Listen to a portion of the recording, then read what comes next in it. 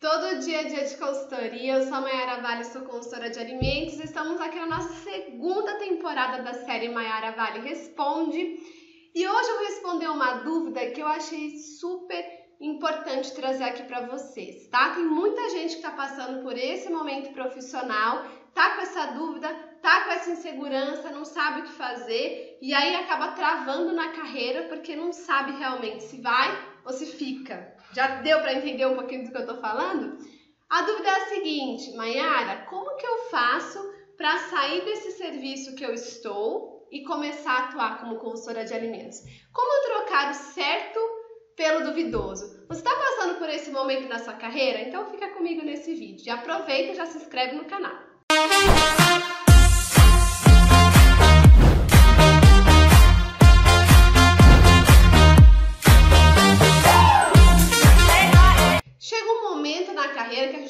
algumas decisões, não é mesmo? Muitas pessoas que eu conheço, profissionais da área de alimentos e muitos seguidores comentam isso comigo. Maiara, eu tô no emprego há tantos anos, tô super insegura, tô super desmotivada, tô super frustrada com a minha carreira, porque nesse lugar que eu trabalho eu me dedico muito, tô lá há anos, me dedico a isso há anos e eu não sou reconhecida, não sou valorizada né? Eu posso fazer muito que ninguém dá a mínima importância. Você já passou por isso? Está passando por isso nesse momento? Deixa aqui nos comentários para saber um pouquinho, conhecer um pouquinho sobre você, tá? E as pessoas que estão passando por essa situação, elas ficam indecisas se chuta o balde começa uma carreira nova ou se mantém nesse trabalho. Por quê? Porque com esse trabalho que paga as contas, né, não tem certeza se a consultoria vai dar certo e pedem minha ajuda para saber se dão esse passo tão importante ou se permanecem onde estão. Vamos entender um pouquinho do comportamento humano, né? O que a gente pode fazer numa situação como essa. É comum que a gente se acostume com uma certa rotina, né? Então, assim, eu tenho um emprego, não estou muito feliz com ele, mas é ele que mantém minha casa, que paga minhas contas, então eu vou levando isso um pouco a barriga. A gente também pode chamar isso de zona de conforto. Não tá bom, não é aquilo que eu queria, ah, mas dá para ir levando. Chega um momento que, como profissional, a gente se sente muito frustrado com uma situação como essa, porque a gente entende que a nossa carreira não está crescendo, que a gente não ganha né, o que deveria ganhar, o que merece ganhar, que a gente não tem nenhum elogio, nenhum reconhecimento por conta do trabalho que a gente faz, né? E aquilo já desgastou, aquela relação com aquela empresa já está desgastada. E aí vem a desmotivação, né, a frustração. O que, que eu indicaria para você aconselharia você a fazer? Iniciar a carreira como consultor é um passo super importante. Muitas pessoas iniciam a carreira justamente porque querem trabalhar para elas mesmas, né? Ter liberdade de tempo, liberdade de espaço, liberdade financeira. Afinal, com consultoria, você administra o seu tempo, você não fica preso a um único lugar, você conhece vários clientes, vários estabelecimentos.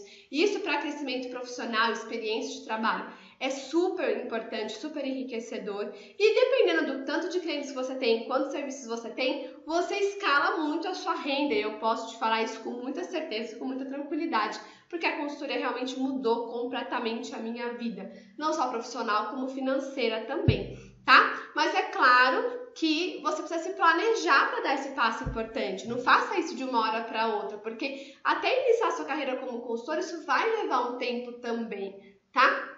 O que, que eu te aconselho a fazer? Faz um planejamento financeiro, organiza suas contas de casa, comece a fazer reservas, para que quando você decidir realmente o balde, começar a carreira como consultor, você tenha uma certa segurança, você tenha uma estabilidade, tá? Então analisa sua renda, o que, que você pode cortar, o que, que dá para economizar, comece a juntar um dinheiro, comece a organizar a sua vida, né? A gente é muito acostumada a deixar a vida acontecer. Chegou a hora de você começar a planejar a sua carreira. Começar a planejar as suas rendas, planejar a sua vida em casa. Tem que ter planejamento. Nada funciona sem planejamento. Nem o processo de consultoria funciona sem planejamento. Então, minha dica é essa: organize a sua vida, organize as suas finanças, comece a fazer uma reserva.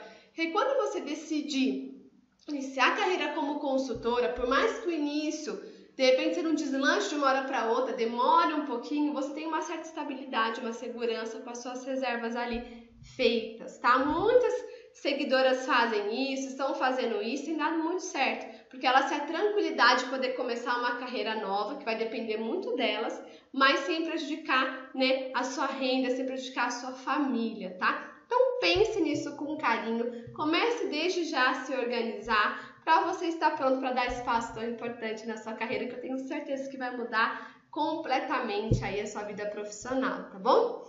Te desejo muito sucesso, claro, conta aqui comigo, tá? E também deixa aqui nos comentários o que você achou, se essa dica foi bacana e se você já está aplicando isso na sua carreira, tá bom? Não se esqueça de se inscrever aqui no canal, dê o seu joinha, clica lá no sininho para receber as nossas notificações. Toda semana tem vídeo novo para você. E é claro que eu te espero no próximo vídeo. Até lá!